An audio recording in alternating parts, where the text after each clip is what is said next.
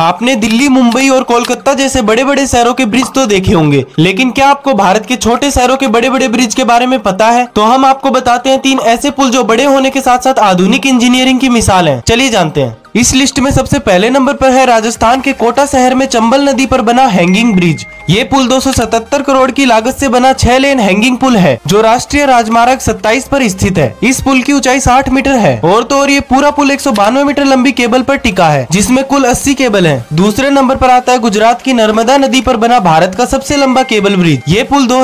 में बनकर तैयार हुआ जिसे बनाने में चार करोड़ रूपए खर्च किए गए तीसरे नंबर आरोप आता है नागपुर का राम झूला क्या आपने कभी इन पुल आरोप सफर किया है कमेंट में जरूर बताएं